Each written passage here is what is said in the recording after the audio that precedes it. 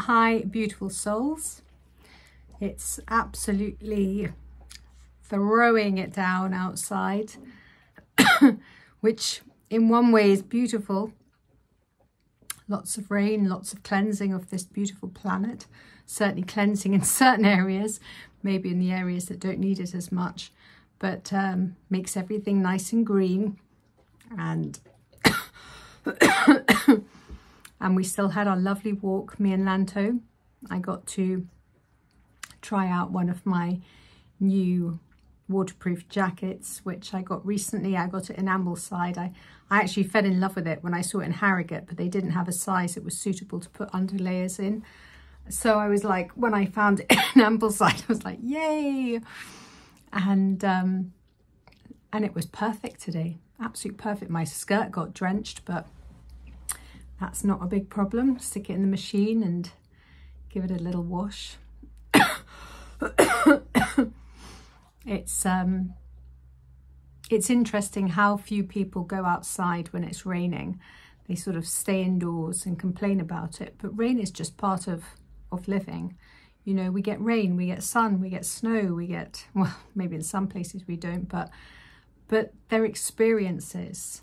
And if you look at them in fun ways, then, and if you welcome them and allow them, then it just makes things so much easier rather than sort of resisting, oh, it's rain, I'm really upset, I'm going to stay indoors and I'm not going to do what I wanted to do. You can embrace it and go, you know what, I was going to go for a walk, I'm still going to go for a walk. I'm doing it. Oh, I was going to go sunbathing. maybe, maybe I'm not going to sunbathe today, but you're still going to get the sun if you're outside walking around. Getting those rays is vital. A friend of mine, um, we were talking about, um, in my expansion group, we were talking about uh, new ways of of eating, and one of the th one of the the the uh, things that I see very clearly is that we will move from actual eating physical food to just living on prana. Um, but there will be stages to that. And of course, you know, I don't know what the timeline is before this occurs, but I do know there are some people already able to sustain themselves on prana alone. How, how successful that is and what that looks like, I can't tell you. But, um, but there are stages and we were discussing, you know, like, well, what happens if you uh, really, really like something and then you don't want to give that up. As Lama Yeshe would say, what do you do when the chocolate runs out? So we were we were discussing this and chocolate of course did come up and I was like, what about carob? no, obviously carob didn't cut it for some of my friends. But the sun, and this is what a friend of mine mentioned. She said when she gets a certain amount of sun, it reduces her appetite. And it's because she is getting the food from the sun. And I was like, gosh, yes, no, that's so profound and that's so true because plants get so much of the nutrients from the sun. Of course, they get it from the soil as well, but we need the sun to receive certain nutrients. We are so um, reliant upon the sun for so much. I, I know that it's there's so many things we're reliant on. We're reliant on the ocean. We're, we're reliant on so much to give us life and we can't ignore the sun. So it's true that when you are in a hotter climate, you eat a lighter diet. And when you're in a colder climate, you tend to eat a, a cooler diet. And, um, and how this looks moving forwards is that actually many of the countries that are currently really cold will not be so cold in the future and, and vice versa. The, the uh, temperatures will change and um, much will change, in fact. Some countries will disappear under the waters. Other countries will emerge from the waters. and that's all part of the, the change, not only just for how change happens in general uh, throughout planetary systems, um, but also there will be partly because of human intervention and what humans have done, but um, but there is also the element that change is inevitable no matter what. And but of course, you know, we, we, can, we do have a part to play in this. We do have a part to play in this. This is why I always feel it's so important to embrace New Earth and to embrace I mean, you can call it New Earth, you can call it higher consciousness, you can call it unity consciousness, you can call it Christ consciousness. There's so many different ways of expressing things.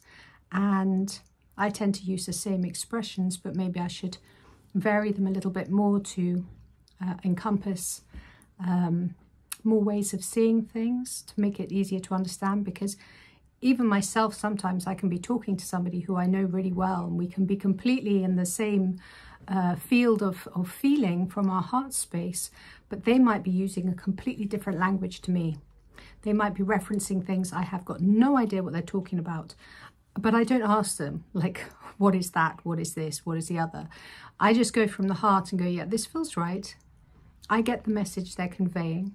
I don't need to know the ins and outs because I don't want to bog myself down with great quantas of, of details that don't assist me. You know, you want to keep yourself as pure as possible and not get jumbled and muddled up. So I tend to use things that uh, I understand and I relate to. And then if I adopt something else because I understand that, I relate to it, oh yeah, I get that, then I can use it. But certain words I don't like, so I don't use them and um, and I'm sure that's the same for you guys as well. So what I want to share today is no matter what's going on outside, whether it's bucketing down with rain, whether it's snowing, whether you're standing in a quagmire of mud, whether you are in a freezing blizzard, when you when you on scorching sun, whatever it is going on, just consider how can you embrace this right now because there will be a reason why that's showing up for you right now. Because everything is serving us, everything is for us, nothing is against us, everything is for us, and we have the power to be and do anything we wish and to utilize our environment in ways that can really support the whole. And this is this is the thing that's so also vitally important is not to see it just as the individual but to see it as the collective. So when you embrace what's going on outside you're embracing it for the all. When you're going about anything like when you're even just receiving prana from the sun you're receiving that for the all the collective me and my friends in my in our little group when anything um, is an experience for one of us we all experience it we all feel it we all are united in this group but that's just a just a sort of like helps us to see the, the larger scale with like with the whole co collective consciousness. And when you are in a group it makes it easier to understand a bigger group and then a bigger group and then a bigger group and then a bigger group and you realize that we are also interconnected and that we are all here to look after one another in whichever shape, way or form we choose to, whatever our services may look like. Everybody has a different way of serving whilst we're here, but we're here to serve each other with love and through love, with open hearts. And today I walked in the rain and I did it for you all. I did it for me, I did it for my dog, and I did it for the sheer joy and appreciation of beautiful rain. I send you lots of love. My name is ZsaZsa. Like, subscribe and share if you feel called to do so. Thank you.